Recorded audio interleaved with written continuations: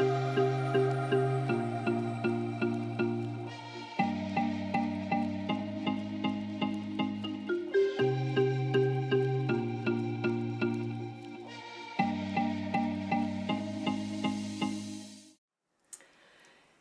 meine Lieben, na, alles gut bei euch? Jet Alliance. Chit-Chat. Mutti muss euch was erzählen. Das glaubt mir keine Sau. Macht kurz Stopp, holt euch ein Zigarettchen, macht fünf draus, holt euch ein Käffchen oder ein lecker Tee und macht ein bisschen Schuss mit rein. Ich glaube, ihr werdet das brauchen. So ging es zumindest mir gestern. Mir ist gestern etwas passiert. Naja, mir sind sehr, sehr viele Dinge passiert. Äh, und so das Overall war ein Tag, das wird mir, das wird mir keiner glauben. Also wir haben Dienstag und seit gestern Abend komme ich immer wieder an den Punkt, no, hell no. Ich weiß, ich weiß gar nicht, wo ich anfangen soll. Das ist egal. Also, wir fangen jetzt mal ganz vorne an. Äh, ja, also es war ein sehr aufregendes Wochenende. Es war der Geburtstag von Klein Mäuschen. Äh, die Familie von meinem Mann ist gekommen, also die Schwester mit Frau, die dann auch bei uns im Haus geschlafen hat und äh, oder die bei uns im Haus geschlafen haben. Am Sonntag war dann eben der Geburtstag von Lauren. Es war ein super schöner Tag. Es hat alles geklappt. Es war mega. Und gestern Morgen äh, ist die Frau mit, also die Schwester mit Frau dann wieder abgereist. Und ihr kennt mich, Schätzeleins, ne? Mutti muss ja dann immer alles back to normal innerhalb von 30 Minuten haben. Das Zimmer musste wieder aufgeräumt werden, die Wäsche musste gewaschen werden, das Bad musste sauber gemacht werden und, und, und. Ne? So. Gut, das habe ich gestern also alles gemacht. Mein Mann, der hatte frei. Es war Veterans Day. Kleinmäuschen war auch hier. Ähm, was mir dann also wirklich gut Zeit gegeben hat, hier wieder alles in Ordnung zu bringen. Und gestern Abend musste ich dann arbeiten. So, äh, es hat hier im Haus auch relativ gut alles geklappt. Ich bin auch relativ gechillt äh, in die Arbeit rein. Wenn ich in die Arbeit reingehe, dann ist es bei mir immer Hello everybody. Also ich bin motiviert. Ich gehe da eigentlich zu 99,5% mit guter Laune rein. Und so war es gestern, äh, gestern Abend eben auch. Auch wenn ich ein bisschen müde, ein bisschen kaputt war, aber äh, ich liebe es zu arbeiten. Gestern Abend war ich mehrere Male kurz davor äh, zu quitten, ja. Rauszulaufen aus dem Scheißladen. Und äh, ja, auf jeden Fall, ich bin da gestern Abend reingelaufen und es glaubt mir keine Sau, ey. Also ich werde halt immer auch so ein bisschen aus, nicht ausschweifen, aber euch so immer ein bisschen was dazu erzählen, dass ihr eben auch das Gefühl habt, ihr wart gestern Abend physically mit mir dabei und könnt meinen Pain spüren. So, auf jeden Fall. Äh, ich bin ja Fahrer in einer Pizzeria. Gut. Ich bin da gestern Abend rein, ich habe mich eingeklockt, wie ich das immer mache und ähm, ja, man bekommt dann eben immer so seine Zettel, ne? Also der eine Zettel ist für mich, wo dann die Adresse draufsteht, zwei Zettel, das ist einmal Rechnung für den Kunden, um das zu unterschreiben. Ähm, also für uns, für den Laden, der Kunden muss es unterschreiben, den Zettel nehme ich wieder mit äh, ins Geschäft und der andere Zettel ist eben für den Kunden. Das ist jetzt eine Info, die ist eigentlich scheißegal, aber hört einfach zu. Stay with me, Schätzelein. Auf jeden Fall, ähm, ja, ich habe da dann meinen Zettel gehabt, ja, und habe die Adresse gesehen und habe noch gedacht, hä, wo ist denn das? Also ich arbeite jetzt seit Januar in dem Laden und mir ist wirklich schon einiges passiert. Mir ist schon viel passiert, ich habe schon viel gesehen. Ich habe mal vergessen, mein Auto in Park zu machen, ja, und war total äh, distracted von einem süßen kleinen Babyhund, den der Kunde hatte und bin aus dem Auto rausgesprungen wie eine gestochene Biene. Nee, wie von einer gestochenen Biene. Also ich selbst war nicht die Biene, die mich gestochen hat. Auf jeden Fall bin ich mal aus dem Auto rausgesprungen, ähm, weil ich diesen Hund gesehen habe und der war so süß, dass ich mal vergessen habe, mein Auto in Park zu machen. Also wir haben ja Automatic, ne? Und mir ist mein Auto davon gerollt, Jetzelines. So, dann habe ich mal gehabt, äh, dass der Kunde seinen Zettel unterschrieben hat und dann hätte ich ja eigentlich die Pizza abgeben müssen und nö, ich habe den Zettel genommen und bin mit der Pizza wieder ans Auto gerannt, ja. Wo der Kunde mir hinterher gebrüllt hat und mir hinterher gerannt ist von wegen, äh, hallo, kriege ich auch mein Essen? Dann habe ich es mal geschafft, ähm, die komplette Tasche, also wir haben ja so Taschen, wo man die Pizza oder das Essen generell reinmacht, dass das Essen warm bleibt. Und diese Taschen nehmen wir wieder zurück mit in den Laden. Ja, das ist ja kein Geschenk für den Kunden, weil du hier jetzt Geld gelassen hast. Habe ich also auch mal geschafft, dass ich äh, die komplette Tasche den Kunden einfach gegeben habe. Also Point Blank ist, dass ich in des, diesen elf Monaten äh, seit ich da arbeite, wirklich schon einige Bolzen gesehen habe, auch selber abgelassen habe und ich schon mehrere Male Joke of the Day war. So, seit gestern bin ich aber, glaube ich, Joke auf 2019 und 2020 gleich noch mit dazu. Auf jeden Fall habe ich diesen Zettel gesehen, ja, mit meiner Adresse und mit äh, der Bestellung drauf, so dass man eben die Bestellung fertig macht. Und ich sehe diese Adresse noch und denke, hä? Where the hell is that? Also, ich kenne eigentlich die komplette Area hier. Ich kenne viele Straßen, ich habe viele Regulars, ja, also viele Kunden, die wirklich sehr, sehr regelmäßig bestellen. Und natürlich ist immer mal so eine Adresse dabei, wo man denkt, ah, ist das da oder ist das da? Aber so eine Adresse, die ich noch gar nicht gesehen hatte, hatte ich jetzt bis, äh, ja, bis gestern für eine sehr, sehr lange Zeit nicht. Auf jeden Fall habe ich mir keine Gedanken gemacht. Ne? Mutti macht ja ihre Bestellung fertig, bliblablub. Ich nehme mein, äh, meine Tasche, ich nehme meinen Zettel, ich renn raus, schmeiß das alles ins Auto rein, tippe das schön in mein Navi ein und los geht die Luzi. Es war, ja, so Viertel nach, Viertel nach fünf, 20 nach fünf. Ne? Also bei uns wurde ja jetzt auch die Zeit umgestellt, was bedeutet, es wird jetzt relativ früh dunkel.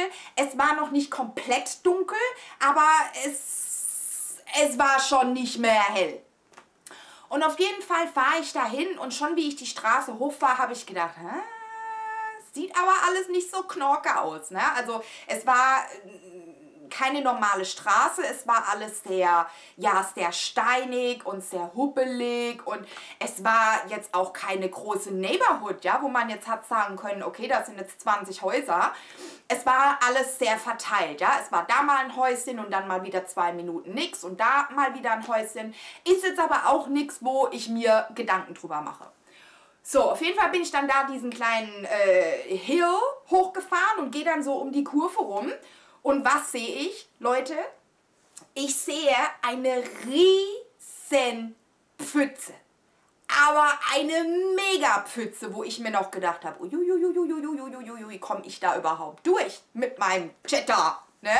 Hätte ich einen Traktor gehabt, wäre das kein Problem gewesen. Ja, in den Rallye-Gang rein und da durch.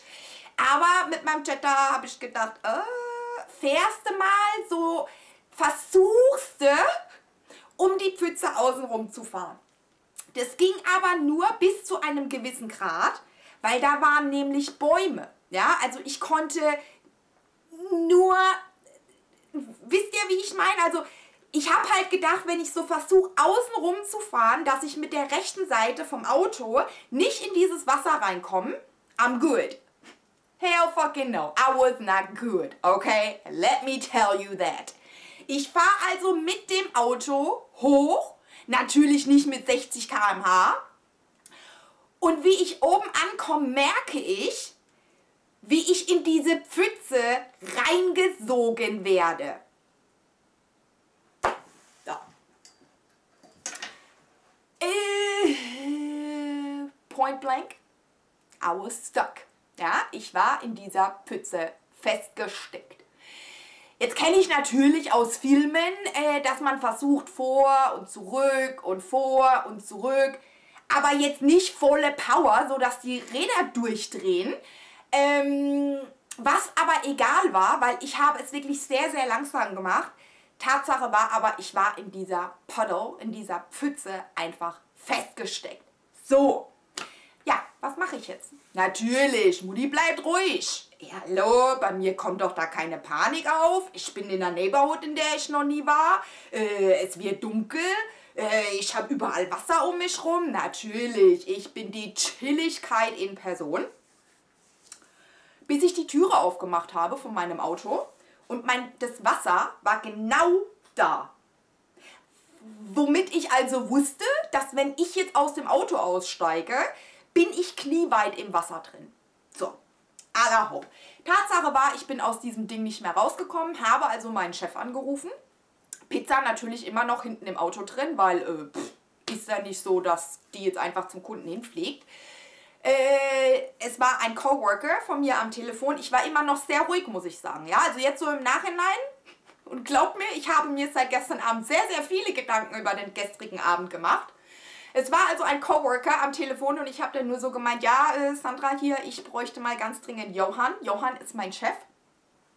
Und äh, Johann kam dann auch ans Telefon und meinte, ja, äh, Miss Sandra, what's going on? Ich bin, ich bin Miss Sandra, ne? weil ich bin ja auch nicht mehr das frischeste Brot im Regal. Ich gehöre also zur, zu der älteren Generation in dem Laden. Und äh, ja, auf jeden Fall bin ich Miss Sandra. Und er kam dann ans Telefon und äh, ich meinte dann so, äh, Johann, I'm stuck in a big puddle.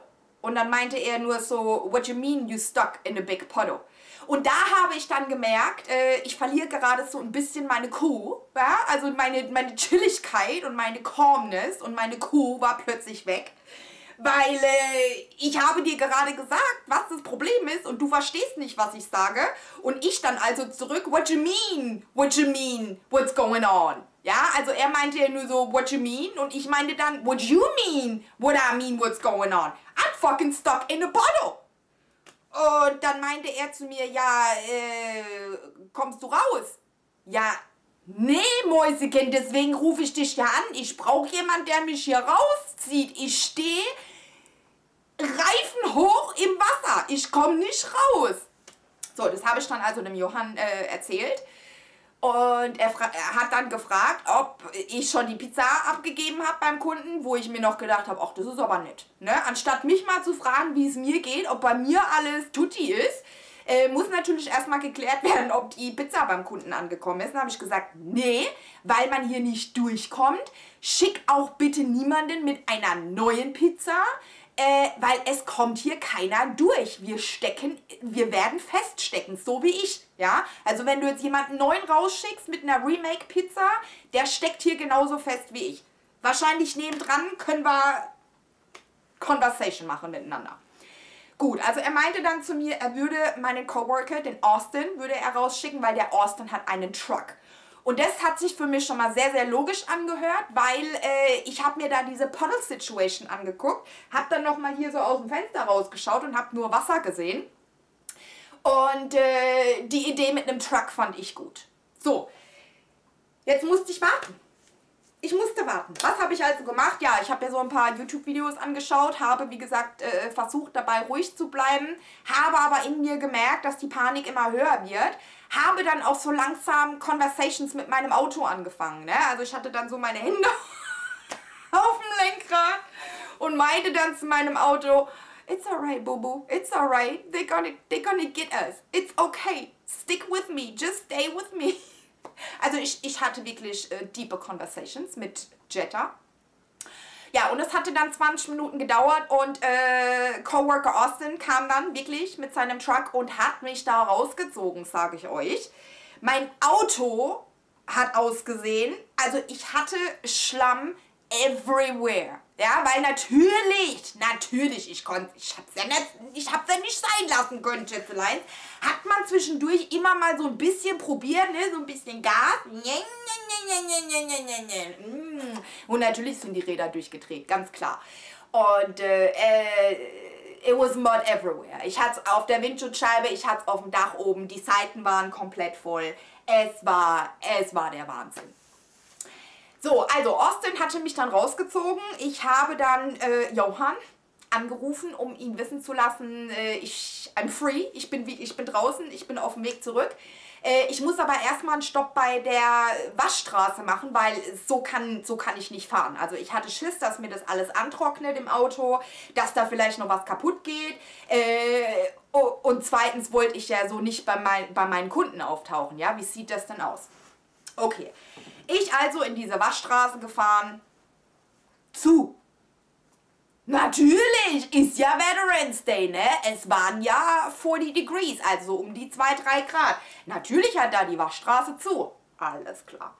Ich also zurück in, in die Pizzeria. Natürlich musste jeder rauskommen und musste gucken, ne? Und, ah, Miss Sandra! Und jeder hat einen Joke gerissen. Ich muss sagen, ich war richtig gut drauf, weil ich war einfach nur happy, dass ich noch alive war. Nicht um das Ganze hier jetzt zu dramatisieren, Jetzeleins. Nein, das war absolute Not, in der ich da war. Auf jeden Fall kamen die dann eben alle raus und haben sich das Auto angeguckt und ähm, habe dann eben Johann auch Bescheid gegeben, dass die Waschstraße zu ist. Und er fragt mich noch, ja, von wegen, äh, soll ich dich nach Hause schicken, willst du heim? Aber nee, weil mir ging es ja gut. Ne? Mein Auto war zwar ein bisschen dreckig, aber mir ging es gut und ich hatte ja Bock drauf zu arbeiten. Also haben mir meine Coworkers geholfen äh, damit, dass jeder rein ist und hat eben einen Eimer Wasser geholt und wir haben alle mal so das Auto ne, abgeschwenkt. Und glaubt mir, Schätzeleins, äh, kein Tropfen Wasser war zu wenig. Zu wenig? Zu viel? Also ich habe es gebraucht. Gut, auf jeden Fall. Äh, Auto hat natürlich ausgesehen wie Kacke, ne? Also da ist der Dreck nur so runter und richtige Dreckbrocken und egal, das Auto, es ist gefahren, ich war okay.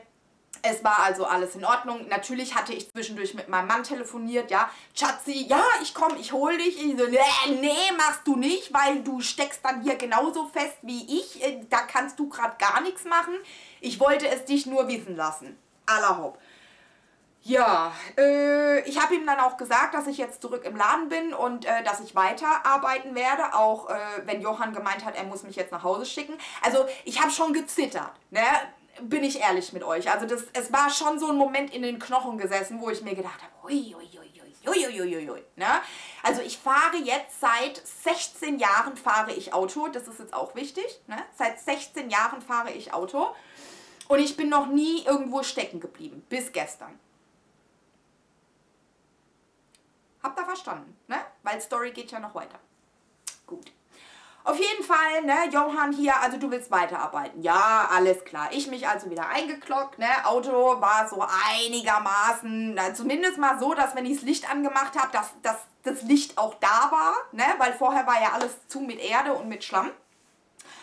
Und äh, ja, dann hatte ich so zwei, drei Deliveries, die waren auch okay, ne? Also das war in einer Area, wo ich gekannt habe, das war alles cool. Äh, mein Herzschlag, mein Blutdruck war wieder alles normal. Ich gehe zurück in den Laden und äh, klopp mich wieder ein und mache da halt mein Ding und ich höre nur, ah, oh, Miss Sandra, you out. Okay, ich also wieder zurück zur Driver Station, um mein Papier zu holen. Äh, guck so auf die Bestellung drauf, mach das alles fertig. Guck auf die Adresse drauf und denk, where the hell is that now? War also wieder eine Adresse, äh, die ich noch nie gehört habe. Ich hatte keine Ahnung, in welcher Neighborhood das war. Okay. Äh, sag noch zum Johann, guck mal, das ist nochmal so eine Adresse, die ich nicht kenne, ja? Sag der Johann noch zu mir. Ja, heute kann nichts mehr passieren. Du hast, äh, du hast, wie hat er gemeint? You, you reached your limit for today. Ja, also ich habe mein Limit für heute erreicht. Genau, könnte man ja meinen, ne, nach so einer Story. Ich also in das Auto rein, selbes Spiel. Zack, Adresse, ins Navi rein, war 13 Minuten vom Store entfernt. Ich fahre also los. Äh, und wie ich so 6, 7 Minuten entfernt war, musste ich links abbiegen in eine Straße was noch eine normale Straße war, also es war gepaved, ne? Es war, wie heißt es hier, äh, nicht tapeziert. Also es war halt Belag drauf, Jetlines. Es war nicht steinig, es war Belag. Und ich fahre und ich fahre und ich sehe nur Bäume. Und mittlerweile ist es natürlich rußrabenschwarz. Ja, also es ist dunkel. Da war nichts mehr hier mit noch ein bisschen hell und ich sehe noch ein bisschen was. Nee, da war nichts mehr mit. Es war rußrabenschwarz rabenschwarz. Ja, und ich fahre und äh, ich sehe keine Häuser. Ich sehe nur Bäume. Ich war also irgendwo im Wald, aber mein Navi sagt mir geradeaus und ich sollte in fünf Minuten da sein. Okay. Plötzlich sehe ich ein Schild auf der rechten Seite, das sagt äh, Pavement Ends. Übersetzung. Belag endet. So, ich bin dann also auf Stein gefahren. Ist auch kein Problem. War jetzt gestern nicht das erste Mal in 16 Jahren. War jetzt kein Stress. Aber einfach so die Situation an sich. Ne? Es war dunkel, ich sehe keine Häuser, ich sehe nur Bäume. Ich war eine Stunde vorher, war ich im Schlamm gesteckt, hatte das noch so ein bisschen in mir. Äh, eine Adresse, bei der ich vorher noch nie war. Hm. Und fahr und fahr und fahr. Und was sehe ich, meine Lieben? Ja, ein Porno. Eine Pfütze. Eine Pfütze, die genauso groß war wie die erste Pfütze, in der ich hängen geblieben bin. Ey, ich hab gedacht, mich zerreißt in dem Auto, Leute. Ich hab, ich hab nicht gewusst, ob ich heulen oder lachen soll. Aber, aber, dieses Mal war ich ein bisschen schlauer. Ich habe nicht versucht, außenrum zu fahren. Äh, ich bin aus dem Auto raus. Natürlich habe ich alles dabei, ne, für Sicherheit. Also ich habe hier mein Messer dabei, ich habe meine Taschenlampe, ich habe alles dabei. Bin also aus dem Auto raus und habe mir einen Stock gesucht, weil ich wissen wollte, wie tief diese Pfütze ist. Ja, weil nochmal mache ich das nicht, dass ich da einfach so außen rum fahre äh, und das Wasser zieht mich dann rein. Ich habe einen Stock gefunden, ich habe diesen Stock in die Pfütze und das Wasser war so hoch. I knew right away, I'm not driving through that bitch. War für mich sofort klar, dass ich da nicht durchfahre ich beim Kunden angerufen, weil äh, ich Johann nicht anrufen wollte. Ich den Kunden angerufen, weil ich wissen wollte, ob es irgendwie einen anderen Weg zu diesem Haus gibt. Äh, und dass ich jetzt eben hier vor dieser Pfütze stehe. Ne? Also hier, dring, dring. Kunde geht ans Telefon, ja, ja, Sandra hier, bla bla bla, äh, ich habe hier äh, Lieferung und so, ich stehe aber vor einer Pfütze. Sagt der zu mir, ja, ja, das ist genau um die Ecke rum. Da fahre ich jeden Tag durch. Das ist kein Problem. Ich also zu meinem Auto. Boo boo, we gonna make this. We gonna make this. We gonna be alright. Fange an, durch diese Pfütze durchzufahren und bleib stecken. I shit you Nat Schätzelein. Das ist mein absoluter Ernst. In 16 Jahren bin ich nicht einmal in irgendeiner Pfütze stecken geblieben und gestern innerhalb von einer Stunde zweimal. So, was mache ich jetzt? Kunde wusste ja, ich bin auf dem Weg. Äh, Johann, wie gesagt, wollte ich nicht schon wieder anrufen, weil ich wusste ja, I'm Joke of the Day. Ich den Kunden angerufen, da ist er ja, äh, hier, ich stehe ich stecke in der Pfütze. Ja, nee, kein Problem, ich komme sofort. Gut.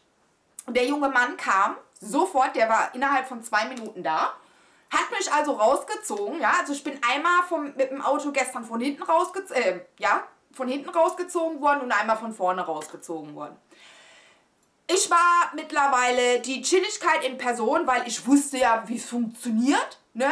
Also so ein bisschen Geruckel kommt jetzt gleich und sobald es dann hochgeht, ist alles tutti. So, auf jeden Fall, äh, ich habe ihm dann gesagt, ne, dass er mich bitte von hinten rausziehen soll, so dass ich dann einfach umdrehen kann, weil in die Richtung fahre ich nicht. Alla hopp, das hat er dann auch gemacht. Äh, wird es da alles geregelt, bliblablub, ne? Äh, dann ging es ja darum, dass er jetzt seine Pizza noch haben wollte. Der mir also den Zettel unterschrieben. Äh, ich habe einen Tipp bekommen, vom Allerfeinsten, sage ich euch. Ich habe einen 15-Dollar-Tipp gekriegt. da freut man sich. Und ich sitze in dem Auto drin und ähm, ja, habe dann also Johann angerufen, weil äh, unsere Zeit wird ja auch getrackt, ja. Also äh, in dem Moment, wie wir ausklocken, bis zu dem Moment, wie wir wieder einklocken, die Uhr läuft einfach und ich wusste, ich habe jetzt ein bisschen Zeit verloren und ich wollte einfach, dass der Johann Bescheid weiß. Ich also in dem Laden angerufen, es war wieder ein Coworker dran. Ich also wieder, ja, äh, äh it's Sandra, I, I need to speak to Johann. Johann kam ans Telefon. Miss Sandra, are you okay? Hm. Now I am. Ich habe ihm dann also erzählt, dass ich gerade wieder festgesteckt bin äh, und dass mich der Kunde hat rausziehen, äh, rausziehen müssen. Er meinte dann nur so, what? No way, I don't believe you. So, you don't fucking believe me. Call the customer and ask him what he just did.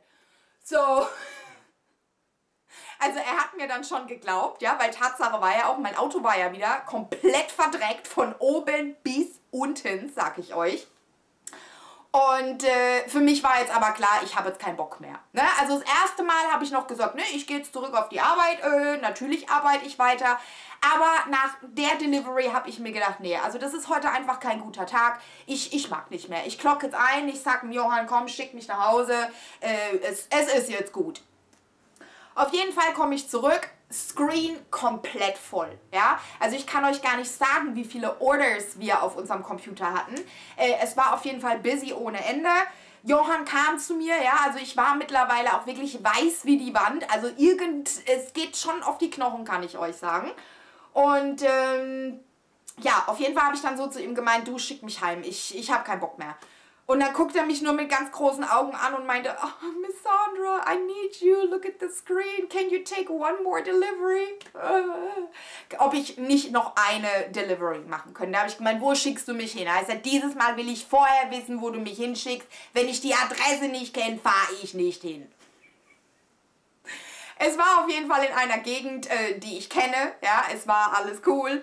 Er hat mich also ausgeklockt, ich nehme mein Papier, ich mache meine Bestellung fertig, setze mich ins Auto rein, ne? Routine, mache das alles in mein Navigation System, bliblablub, fahr dahin, alles wunderbar. Carolina Lakes, das ist so nochmal eine äh, Community für sich. Ist eine riesen Community, kann ich euch sagen. Also da kann man, glaube ich, eine Stunde von links nach rechts fahren und äh, man ist immer noch auf Carolina Lakes. Und da ist eben halt auch viel mit hoch und runter und Bäume und äh, verschiedene Communities in der Community. Also es ist wirklich ein riesen Hickhack. Aber mir war das egal. Ich wusste, es ist eine Area, da war ich schon drei Billiarden. Billiarden? Gibt es Billiarden? Billionen, Trilliarden? Ich war, da, ich war da schon ganz oft. Ich hatte also ein gutes Gefühl bei den ganzen Dingen. Ne? Auf jeden Fall ich also zu einem Kunden hin die Pizza abgegeben, so, war auf meinem Rückweg, war also immer noch auf Carolina Lakes. Und äh, ja, was soll ich euch sagen? Nein, keine Pizza. Nein, ich bin nicht stecken geblieben. Also nicht so, dass mich jemand hat rausziehen müssen. Ich hatte eine Deer Family, eine Reh-Familie, hatte ich auf der Straße. Jetzt muss ich dazu sagen, also das ging in so eine, das sind sehr, sehr äh, schmale Straßen, auch wieder mit äh, viel Wald links und rechts. Also jetzt nicht Wald, aber zumindest mal Bäume. Ähm, und es war eben auch wieder auf einer Straße, wo jetzt links und rechts keine Häuser waren. Ja, aber wie gesagt, das war jetzt für mich nicht Grund irgendwie zu trippen oder Panik zu bekommen. Ich bin halt einfach nur nicht weitergekommen. Ja, so, jetzt saß ich da in dem Auto drin mit zwei Deer Babies. Oh, die waren so süß. Mit Mama und Papa wahrscheinlich. Also es waren vier Rehe. Und die waren einfach mal auf der Straße gestanden. Und die haben sich keinen Millimeter bewegt, Leute. Nichts. Ich saß da. Licht ausgemacht, Licht angemacht. Brights, äh, Fernlicht angemacht. Gehupt. Nichts. Ich war dann also in dem Auto gesessen, ich hatte ja das Licht an, ich habe also die komplette Familie gesehen, ne? Äh, Mama oder Papa, ich, ich denke, dass es Mama dir war, weil Mama dir war noch mal ein bisschen kleiner wie der Größere, also war das wahrscheinlich Papa und dann eben die zwei Kleinen hinten dran. Und Mama dir immer nach hinten geguckt zu ihren Babys, ne? Die Babys zu mir geguckt, dann wieder zur Mama. Äh, also es war wirklich ein, ein, ein Blickaustausch von, von allen Seiten. Was soll ich denn da jetzt machen? Ne? Dann habe ich gedacht, wenn ich jetzt aussteige und die einfach ein Geräusch hören, dass die dann so langsam vor sich wegtippeln würden. So. Jetzt hat man ja nicht täglich so persönlichen Kontakt mit äh, Rehen. Und ich habe die Tür dann ganz langsam aufgemacht. Und die Baby Deers haben mich angeguckt. Und der Papa Deer hat zu den Baby Deers geguckt. Und plötzlich guckt mich die Mama dir an und bekommt ganz große Augen. Und ich habe Panik gekriegt, weil ich gedacht habe, oh Gott, oh Gott, ich werde jetzt hier gleich attackiert, weil Mama dir hat Angst, dass ich den Baby Deers was mache und attackiert mich und frisst mich. Und ich bin halt gleich wieder ins Auto gesprungen. Ne? Zack, ins Auto gesprungen, wie ein, also wie ein Hüppeltier. Zack, Tür zugemacht. Und die standen immer noch da. Die haben sich nicht bewegt. Leute, die haben sich nicht bewegt. Okay. Was bleibt mir also übrig? Ich muss bei Johann anrufen. Ah, also jetzt im Nachhinein muss ich ja wirklich lachen, Leute. Aber gestern Abend mir war zum Heulen. Mir sind auch zwischendurch dann echt mal die Tränen gelaufen, weil ich gedacht habe, ey, das kann doch nicht sein. Das kann doch nicht sein. Ich im Laden angerufen. Coworker. Ja, Sandra hier. I need Johann.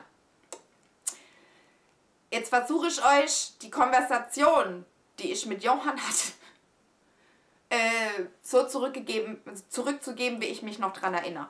Also Johann kommt ans Telefon, meint er. Miss Sandra, are you stuck?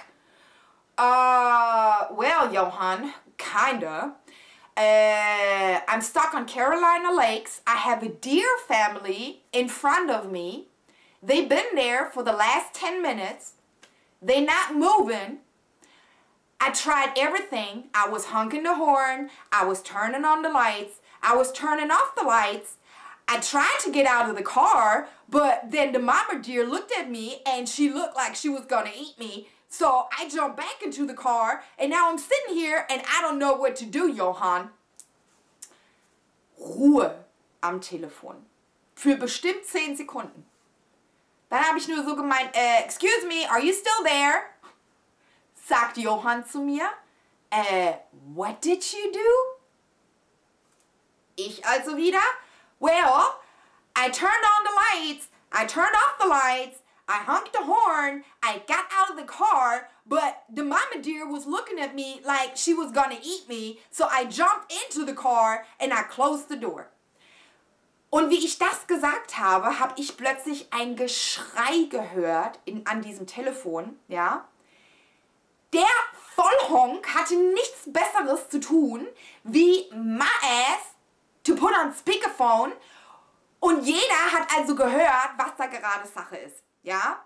Und die haben gebrüllt, wie ich gemeint habe, von wegen The Mama Deer is gonna eat me and I jump back into the car.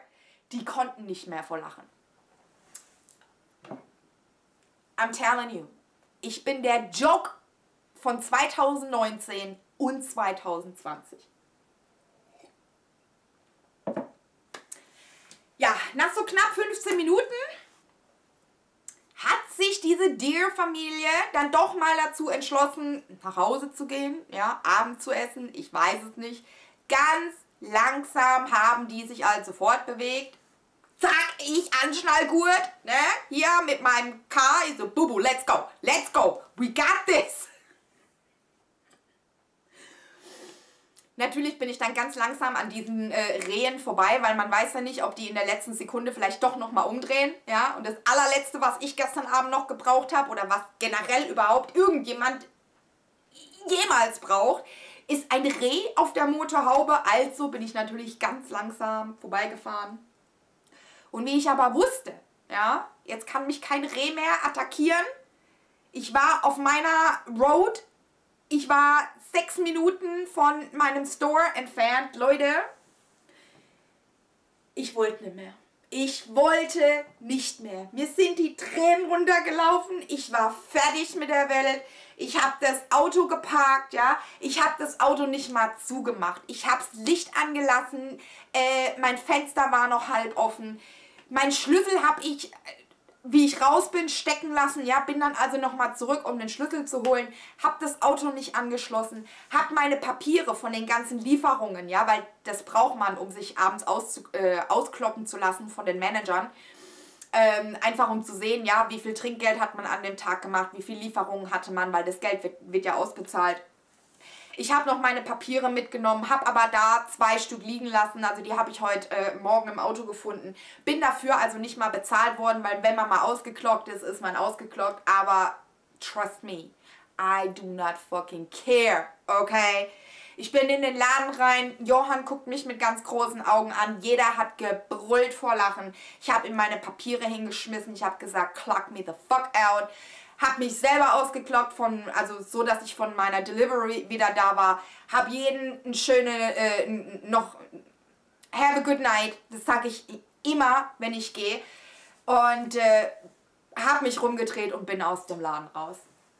Ich bin nach Hause gefahren, wie ich hier in, in, in durch die Türe durchgelaufen bin. Also ich habe ja Schatzi zwischendurch immer mal angerufen, ja. Äh, der, der, der wusste gar nicht mehr, was er sagen soll. Heute Morgen hat er mir gesagt, er hat seltenst ein, einen Mensch so weiß gesehen. Ja, also mich noch nie anscheinend. Äh, aber ich muss eine gewisse Hautfarbe gehabt haben, wo er gesagt hat, sowas hat er noch nicht gesehen. Ich bin nach Haus, ich habe mir einen Drink gemacht, Klein Mäuschen war schon im Bett. Äh, mein Mann, der war unten, der war am Hausaufgaben machen, der, der wusste überhaupt nicht, was er mit mir anfangen soll. Ich habe dem dann die Story erzählt. Der hat gebrüllt vor Lachen. Also er saß wirklich eine ganze Zeit lang da und hat wirklich versucht, das zu verstecken. Und bis ich irgendwann mal zu ihm gesagt habe, just, just let it the fuck out. Just laugh, let it out. I'm okay. The car is okay. Everybody can kiss my motherfucking ass. Okay. I'm good. I have my drink. I'm going to bed. Good night. So. Und dann habe ich mich rumgedreht und bin hoch. Ich habe mich nicht abgeschminkt. Ich habe mein, mein, mein Schmuck hatte ich noch an. Meine Kleider, die habe ich noch ausgezogen, ja. Und bin ins Bett. Leute. Leute, Leute. Und dann, ich habe heute Nacht so einen Schrott geträumt, ja. Egal wo ich hingefahren bin, ich bin ständig irgendwo stecken geblieben. Und ich habe einen Müll geträumt vom Allerfeinsten. Bin also heute Morgen aufgewacht und war alles andere als ausgeruht und relaxed und entspannt. Und wie ich heute Morgen mich ins Auto gesetzt habe, um die Kleine äh, in der Kita abzugeben, also ich hatte echt ein ungutes Gefühl. Und das hatte ich sehr, sehr selten in, in meiner Autofahrkarriere, weil ich liebe es eigentlich, Auto zu fahren. Aber heute Morgen hat man dann doch schon mal zweimal nach links und nach rechts geguckt und man war ein bisschen vorsichtiger, was nicht gut ist, ja, weil durch so eine Übervorsicht passieren eigentlich die meisten Fehler. Aber ja, das, das musste ich euch erzählen, Leute, weil ich weiß auch, dass da jetzt Leute sitzen und, und, und sagen, das glaub, das, das glaube ich dir nicht wenn ich nicht selbst dabei gewesen wäre und mir würde jemand die Story erzählen, würde ich sagen, ja, hm, ist klar, komm, chill dein Leben, Allah. Äh, ne, ne. Und heute Abend gehe ich arbeiten, Jet Lines. Ich freue mich ja. Ich habe gestern Abend von Johann habe ich ähm, noch eine SMS gekriegt, die habe ich aber nicht gelesen bis heute Morgen mit der Frage, ob alles okay ist. Und dadurch, dass ich ja dann einfach ins Bett bin und nicht geantwortet habe, äh, war er sich jetzt nicht so sicher, ob ich überhaupt noch in dem, in dem Laden arbeite. Und er hatte dann heute Morgen angerufen. Und äh, ja, kommst du heute und äh, ich brauche dich? Er sagt, ja, ich brauche auch ganz viel und ich krieg's nicht. Nein, also ich werde heute Abend arbeiten gehen und hoffe, dass die Schicht heute besser wird wie gestern, weil so einen Kack brauche ich nicht nochmal. Also bei aller Liebe. Genau. Ja, kommt gerade die Post. Ähm, ja, was soll man dazu sagen? Ja, also ich, ich war sprachlos, ich bin immer noch sprachlos, wenn mir das so durch den Kopf geht. Wie gesagt, seit 16 Jahren fahre ich Auto. Ich bin nicht einmal stecken geblieben und dann äh, ja innerhalb von einer Stunde gleich zweimal und dann sogar noch so stark, dass ich rausgezogen werden musste. Oh. Oh, ich krieg Post, Chatterlein. Der steigt aus. ja. Also die liebe Martina hat mir anscheinend ein Päckchen geschickt, was, äh, also zum Geburtstag von Lauren, was noch nicht angekommen ist. Und äh, meine Mama und Tantchen haben mir ein Paket geschickt. Ich glaube am 6. Oktober, 3. Oktober, haben sie das losgeschickt. Oh, der geht tatsächlich nach hinten. Oh, Leute, ich kriege ein Paket.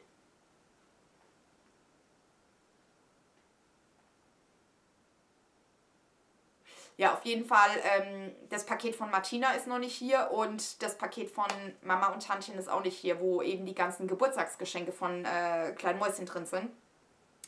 Was, was natürlich super ärgerlich ist und war und also bei, bei der Post geht es mir mittlerweile so wie kleinen Kindern, wenn sie den Eiswagen sehen, ja, so äh, was aber auch nicht viel bedeutet, weil nur weil man den DHL-Mann sieht oder den USPS-Mann, äh, heißt es ja nicht, dass der stehen bleibt, ja? Oder dass man nicht einen Zettel... Oh, shit.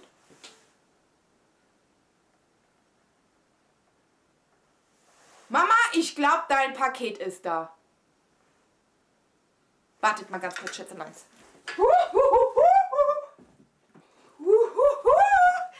Mama! Oh, Mama, dein Paket ist da. Und es sieht gut aus. Keine Löcher, nichts kaputt. Oh, und Martina, dein Paket ist auch da. Oh, wie geil. Ich hatte so eine Angst, dass das Paket von Mama wieder genauso verschrubbt ankommt wie beim letzten Mal. Es waren Löcher drin, es war aufgerissen, es waren Dellen drin.